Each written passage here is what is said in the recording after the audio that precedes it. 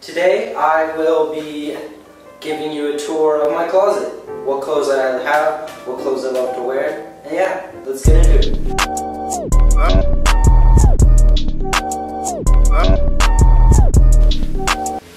So first off, a shirt that unfortunately I don't wear too much because it is a bit small on me and unfortunately this is the only size I can find in it but it's this Maison Margiela camp tee that has prints on prints on prints.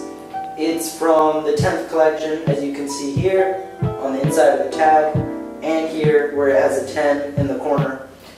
It's definitely a grail piece of mine.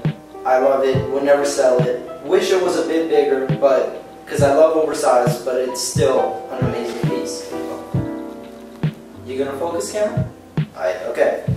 Next piece I got is this beautiful blue dress shirt that I found at a thrift store in Singapore. And I, it just looks amazing, tucked in, tucked out, use it with layering, use it with dress pants. It's just a very smart shirt and it looks really nice with everything. Next up is just this plain tee from a brand called Robert Barakett. It is one of the most comfortable shirts I've ever worn. I wear this actually quite a lot, but it's just a really nice plain black, really, it's called some type of cotton, I know for sure. It's called Pima cotton. And Pima cotton is just very comfortable. I'm not exactly sure where it's from, how it's made. I can put a little information here, here, here, but it's a very comfortable shirt. Next up is this Utopia shirt from the Eytys and H&M collaboration. On the front it says Utopia Airlines. On the back it says this must be the place in red writing as you can see here And then on the inside it has that very nice Eytys H&M tag. Next up, I'd like to point out what I'm wearing, which is this Raf Simons Spring Summer 2017, if I'm correct, sweater. It's oversized, it's cropped, and it's just a beautiful piece to go with anything. Continuing with my outfit, we have these pants khaki pants from a Korean brand named Sobre. I can link them down in the description. I'm not sponsored by them or anything, but they're just a really nice pair of pleated pants. Next is my Vetements dress shirt. I love wearing this casually or dressing up with it. It's, uh, once again, another piece of mine that's a grail piece. It's a staple piece for me. And yeah, if I can actually put it on the hanger, its sleeve is inside out. I'm stupid. If it actually goes on the hanger, you can see it just has Vetements. There we go. Next up is another shirt that I thrifted and I am a bit confused about what brand this shirt is. I the tag is cut off so that already gave me like vibes like, okay, this could possibly be something. It is this B pattern that's in a diamond on it. And I have noticed after going to the Gucci store multiple times in a row now that it is almost exactly the exact same pattern.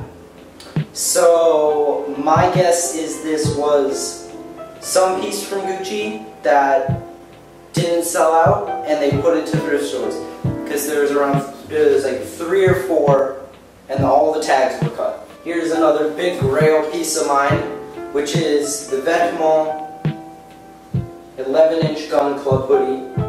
I absolutely love this. I don't wear it as much as I should. You can see the Vetements here. Absolutely beautiful. I should wear this more than I actually do, um, but unfortunately because of the weather here, it is quite hard, but once again, a Grail piece has the uh, target on your chest, you know, so you can get shot. Very fun. Grail piece for sure. Next up, we have the Fear of God baseball jersey.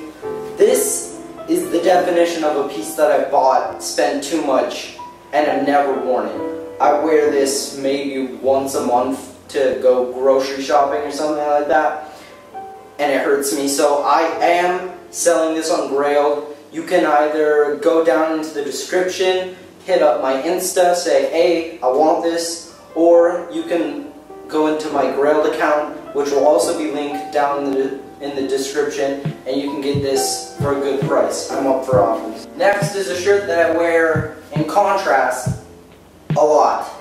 And I was wearing it for the photo shoot in my last video, and it's the Rhude Spring Summer 18 cigarette shirt. Just has this beautiful pattern all over the shirt of palm trees and cigarettes. And once again, this is a grail of mine. So happy and so fortunate to have these clothes. Next up is a piece that I am selling as well. Um, it's the Vetements 100% Pro all white hoodie in size small. And it has a bunch of the collaboration, or brand, it has a bunch of the brands that they collaborate with. It says 100% Pro, www.vetements.com. If you want this hoodie, it's a complete steal right now. You go to my Grailed account, once again, link down in the description. You can pick this up, you won't regret it. I just don't like it too much as it has the same problem as my Maison Margiela shirt where it's just a little too small on me and I prefer oversized things that aren't compact on my body. Next is a blazer, a light blue blazer that I thrifted. I just think it's a nice piece. Wear it with these pants here or wear it with... I was thinking of wearing with blue jeans thought that would be a little too much. I'm just experimenting with this really, but it's perfect for, you know, spring, summer. It has that very summer vibe to it. You know what I mean? So, yeah, this is a nice piece. Next up, we have this Gosha Rubchinskiy layered shirt hoodie, which I found out I got scammed on. Great job, Brenner. I messed up badly there. But I still feel it's a nice piece despite that. So here is a shirt that I used to wear all the time and I still wear it a lot, but not out. And it's this old Hawaiian shirt that I found in a thrift store in Belgium, Brussels. Has this nice pattern of flowers all over, front and back. And it's just a really nice piece. Lastly, from my main rack is this shirt that I used to wear a lot from Urban Outfitters. I can link it down in the description if they're still selling it, until my friend told me that his dad has the exact same shirt. And even though, you know, I like the dad sneaker vibe, I kind of just stopped wearing it after that. Next up on pants, I have the Rothco pants right here camo all the way. I think I've worn these once in Singapore, sadly, just because of how heavy they are. And they went a lot, they were much better with my old style, not as much with my new style high fashion, high-end, you know, more preppy. I don't want to say preppy. That I don't. I don't feel that's correct. But more fancier. This is more of a street style pant. Next, I have this pair of pants that I got from a thrift store.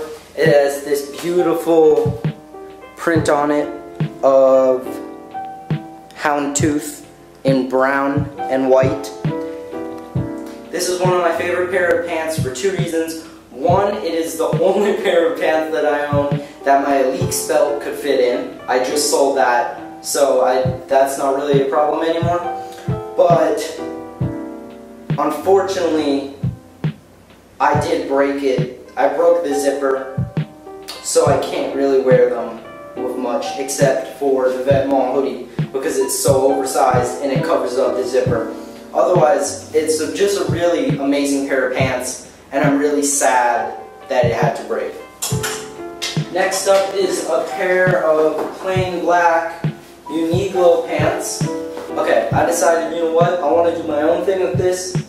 I ended up playing around with some paint, some fabric paint, and made a bunch of designs on here. There's an eye, there's flames, there's a spaceship, there's Japanese writing that says karma, which will link to something much later on that I will talk about in a later video. I have these Hugo Boss um, dress pants that were just a bit too big on me, so I went and cut them, customized them, and now they're just this nice bluish, grayish color, and they're cut to be shorts, so they're much more wearable in Singapore. Next, I have two items here. One is my belt that I wear the most right now. I got this in Hong Kong for about $10, but it's just good quality leather, nice whole belt, you know, got that rustic, got that edgy vibe. um, along with that, there's chains that connect to it, and then this pair of blue jeans that I too cut at the bottom to make a nice cropped fit. You'll see that's a trend with my pants. I've been cutting almost every pair of pants I own up. The next pair of pants are my only pair of pants, are one of my only pair of pants that are like a grail piece to me. And it's the Vetements Levi's collaboration jeans and and they're just this beautiful black colorway with Vetements. Here, let me get it for the camera. There we go. Very opposite of what I said of me not being a hype beast. But I just respect Vetements enough that I am willing to spend a lot of money on a pair of jeans like that. Um, unfortunately, I did want the blue pair of jeans that had the Vetements on the crotch. I preferred those a lot more. I don't know, they just looked nicer. It was embroidered. It was just a beautiful piece, but it was sold out when I wanted to get it, so I got these instead. But I'm really happy with the purchase. Next pair of pants that I would consider a grail are these Needles track pants, the Needles and Beams track pants, so a collaboration with the Japanese store. They just have a green colored stripe, green and white stripes going down on each side, and they're just really nice track pants. I usually wear these with this uh, with this sweater instead of like khaki pants, but I decided to switch it up today, do something unique. My next pair of pants are from Uniqlo once again, but they are these light gray pair of pants that were way too big for me on lengthwise. So once again, I cut them and now they're, they are perfectly cropped. You would have seen them in my last video if you paid attention when I was showing off my Nike Air Tailwinds. They, there's a little bit of a problem with bunching up, but otherwise they turned out exactly how I wanted them to. My last pair of pants is just a very plain pair of Uniqlo black pants. I didn't paint these. I wear these a lot. They're just a very nice pair of dress pants. There's not much else I can say. And finally, to finish it off, we have two more items from clothing. One is this trench coat from the Korean brand Sobre. So the same brand as these pants right here. It's just this very nice, beautiful quality, beautiful everything. The buttons are very nice as well, if you can see them up close. Everything about this coat I just love. Unfortunately, I do live in Singapore, so it is very hard to wear as it gets way too warm way too fast. And finally, I have this beautiful blazer from an Australian brand called Injury. Just the details that they have on here are amazing. They obviously put a lot of effort into it, and I think it definitely justifies the price at what it came in. Luckily though, I did not pay full price. I found this at a thrift store in Hong Kong and got super, super lucky with it. But it's just a beautiful black blazer to put over anything and just finish off an outfit. Next up, we have shoes. My Raf Simons Ozweego's. I love these shoes. I've worn them to death. They're probably my favorite pair of shoes. Extremely beat. I have, and you will see in my next video, I bought a second pair of them. Uh, yeah, you just have to wait to see that. Revenge X Storms, fake Vans, if you may call them that. They don't have Revenge on the bottom because it's from the very first drop. They're pretty beat, but they look better than what they are. I don't wear them often, which is a shame, but I feel because of how I like high-end clothing more, I just don't have the time to wear them. They don't go along with most of what I have. Next up, as you saw before, the Nike Tailwinds. You already know about these. My next pair of shoes are the Raf Simons Detroit Runners. These are also up for sale. So if you want a really good steal on a pair of Detroit Runners, hit up my Grail, hit me up on Instagram, and I'll get you these for a good price. I don't wear them off, I don't wear them at all. I'm trying to replace them with a pair of triple S's instead. I feel I'll get more wear out of those, but they're just a beautifully designed shoe. Have the Raf Simons on the bottom, silver, the stitching, the details, everything about this shoe is just very nice. Got the Raf Simons on the inside. Very nice. Finally, a pair of boots from ASOS that I got, which are the Cuban heel boots which are basically a replacement until I buy Saint Laurent boots. But for now, I have these. I get a lot of wear out of them. They're pretty beat because of how much I wear them, which just is more of a reason for me to buy the Saint Laurent boot. I have the combat boots, which you've already seen, which I can show here. And then finally, I have the Comme des Garçons Vapor Maxes. These are also going up for sale on my Grail. These are pretty beat, as you can see up close. They're broken. There is a hole puncture in one of the backs, but they're still a very nice piece that is like an essential if you want some very nice clothes. Very nice. I hardly ever wear them, so that's why I'm selling them. So if you want a really good steal on those, once again, my Grailed is down below. Okay, next, I'll show you my jewelry. I have a bunch of chains, but I think my pièce de résistance is this chain with the Dior KAWS pendant, as you can see. It looks really nice when you wear it with an open shirt, an open um, dress shirt. That's just a very nice piece. I have a really bad habit. I, I have a really bad habit of losing rings. So my only ring I have right now is this ring from a Korean brand. I'm not exactly sure what it's called. You can't really see it too well, but it's just a very nice piece. And finally, my last piece of jewelry is this beautiful chrome hearts earring that's diamond and silver.